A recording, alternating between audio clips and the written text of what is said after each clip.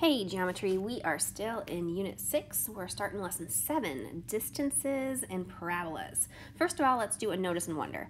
Well, back up before we do that. I just wanted to tell you, like, these are the vocabulary words we're learning today. Parabola, focus, and directrix. That is an R. D-I-R-E-C-T-R-I-X. Directrix. Those are the things we're learning today. Um, but let's go back to the notice and wonder. What do we notice? What do we wonder? These are my favorite things to do in the classroom um, because like you could already know what these things are, but you can still, um, and you can input, or you cannot know anything. You cannot know where you are and still be able to input. So um, I always get bummed when we get one of these things for a warm up because uh, we can't talk. But what do you notice? What do you wonder? Anyone? Well, I wonder why there is such thing as a spider with one, two, three, four, five, six, seven, eight, nine, ten legs, because that looks like a big old spider with angry eyes and ten legs. But that's not what it is. So, um, I notice that if I connected all the dots, it kind of looks like a parabola right? I wonder if this F has anything to do with the word focus. And I also wonder what this horizontal line is. Is it the x-axis? Or is it the directrix? That's the best I can do today, guys. All right, moving into our activity synthesis. Um, what we're really looking at right now is a parabola. We see that if we connect all those dots, we have a parabola. A parabola is made from a quadratic equation. Oops. You remember that from algebra? Parabola is made from a quadratic equation.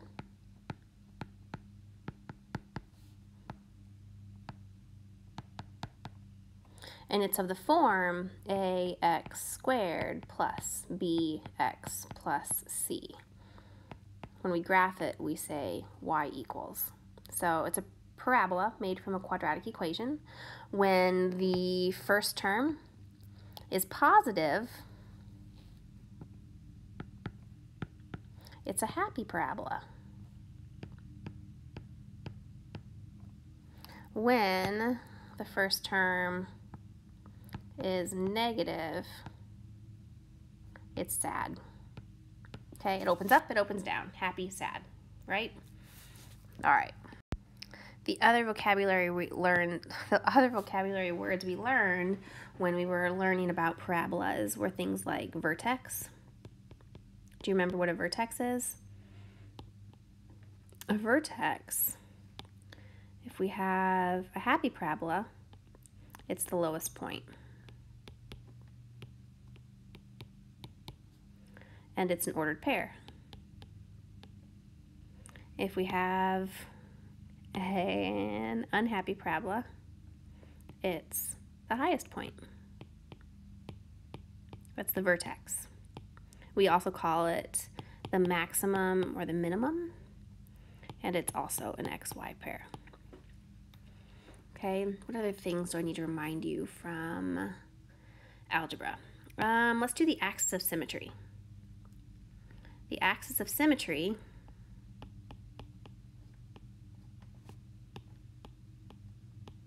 is a line. I can draw it through either one. It always goes through the vertex and it is a line x equals a number. Okay, for both the happy parabola and the sad parabola. It's a line x equals a number. And it's always the x value of the vertex, too. Lots of information here with no example, which I know is hard, but we'll get to it, right? Um, let me think. Axis of symmetry, vertex, quadratic. I think we've hit a lot of the review. Um, if you didn't write the stuff down, I would, and maybe in a better way than I did with all the sideways writing that I did, which is very bad form for me. All right, let's go back to um, what the book has given us. Okay, activity synthesis. We see that that right there is in fact the focus. I know I was being silly earlier. Okay, the focus is um, a point, and it's um, a point that gives us uh, an equidistance. I'm doing the tick marks like we did earlier from the focus to the parabola and the parabola to the directrix. Okay, so what we know is like that is equal to this. This one. So the focus is the distance from the point to the parabola that's equal from the parabola to the directrix. We'll get to directrix in a minute. Um, oh, that should be three tick marks. Okay, four, etc. So I can say that a parabola is the set of all points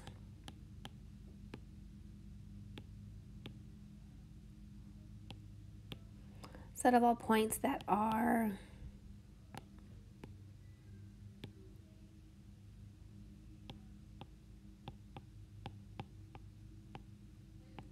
equidistant from a given point.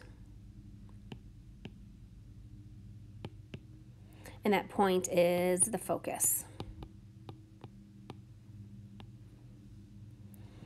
So parabola, the set of all points that are equidistant from a given point, the focus, and the directrix.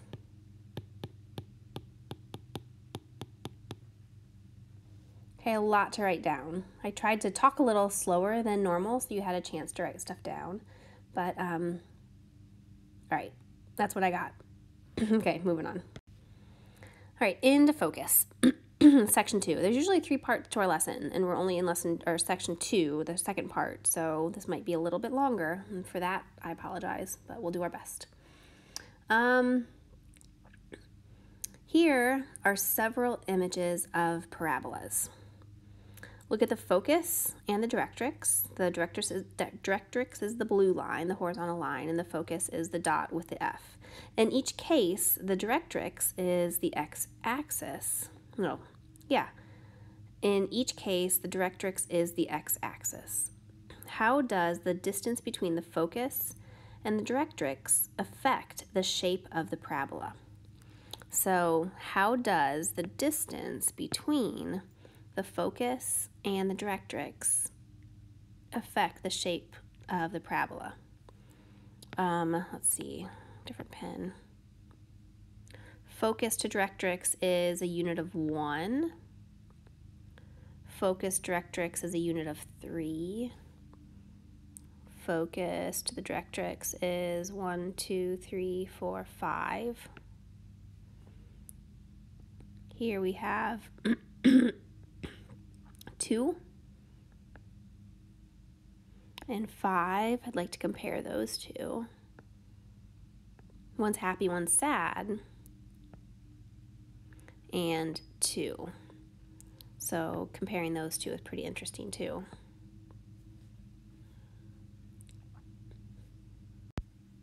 So something that we have noticed is as the distance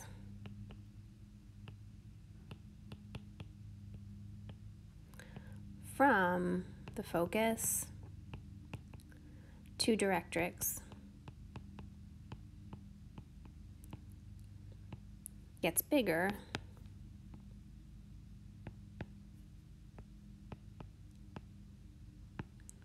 the parabola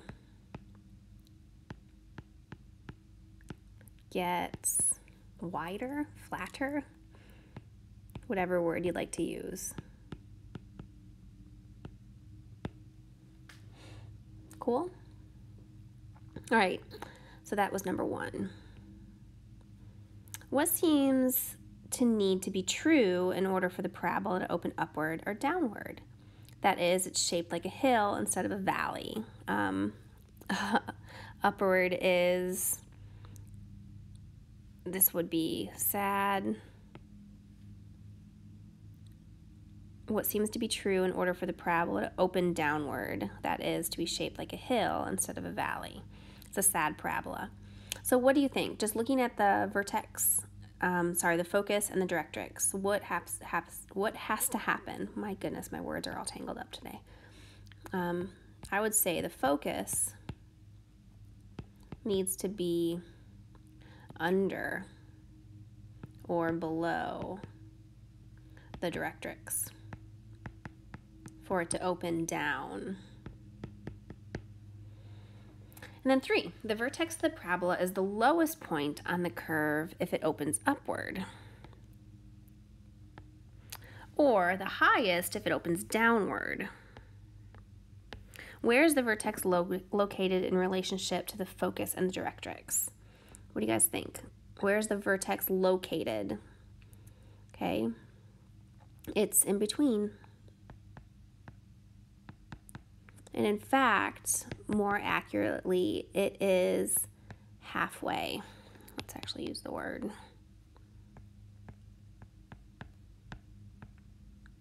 Halfway between the focus and directrix. Or you could say midway. Or you could say accurately midpoint. Very mathematical term. All right. Um, I copied, so sorry, number four says, in the final image, the directrix is on the x-axis and the focus is point 2 comma 2.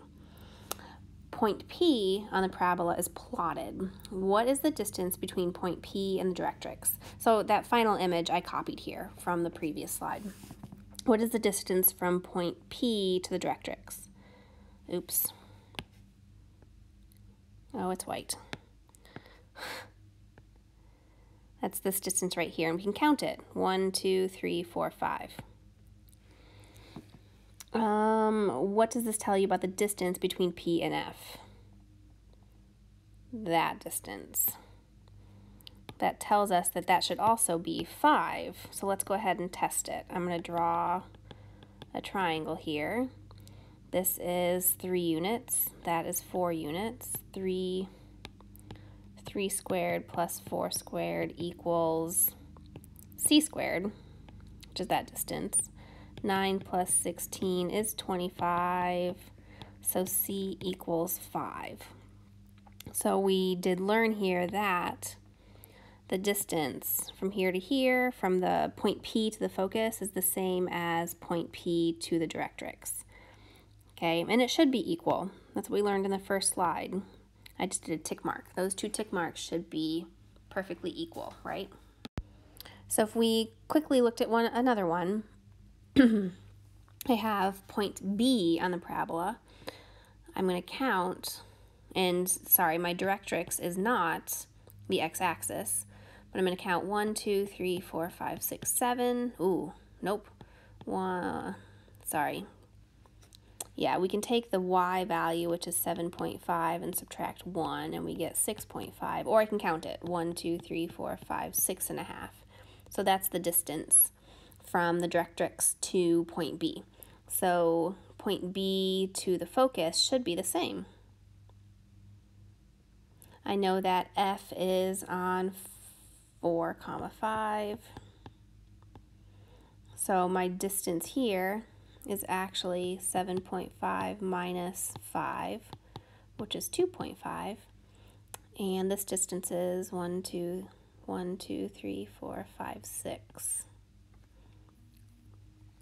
So I can test it. 6 squared plus 2.5 squared would equal c squared. 36 plus, I don't know, 2.5. The heart, 6.25 equals c squared.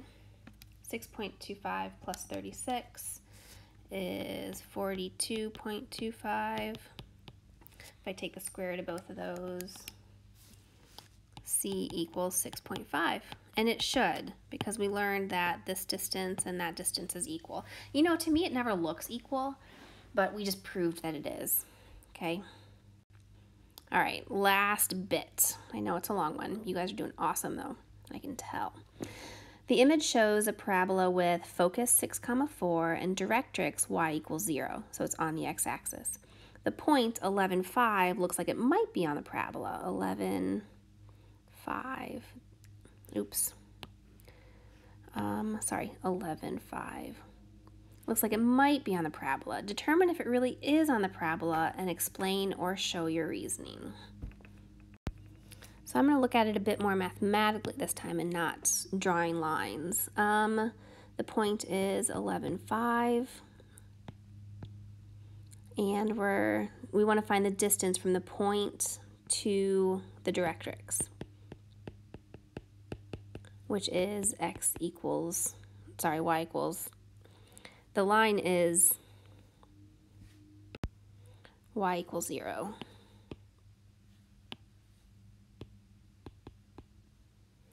So we're just going to do 5 minus 0. That distance is 5. We say it looks like it though. Now we're going to look at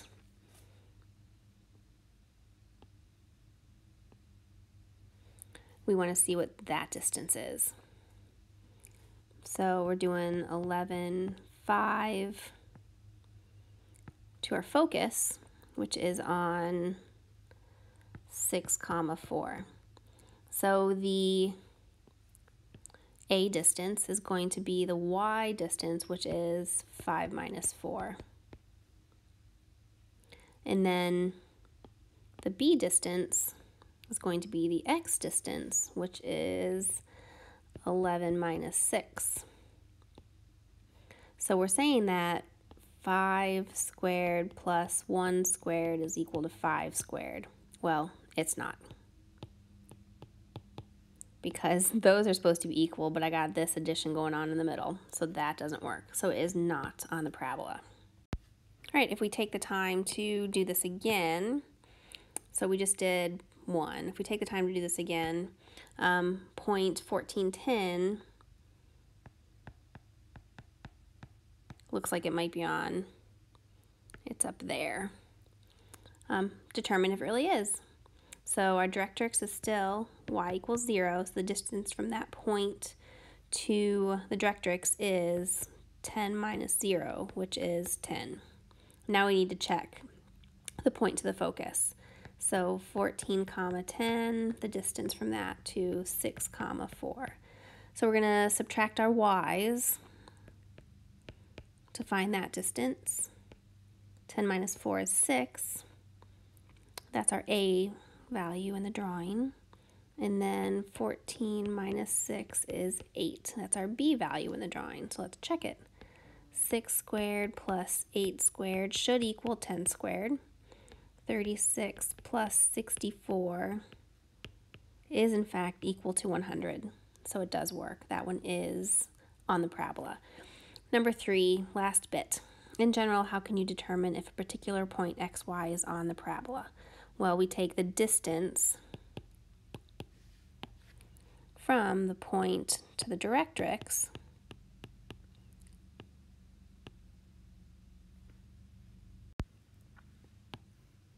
and compare it with, having some technical difficulty, the distance from the point to the focus. Cool, that's it. Excellent work on this one. A bit longer, but I know you guys stuck with it, and um, let me know if you have any questions.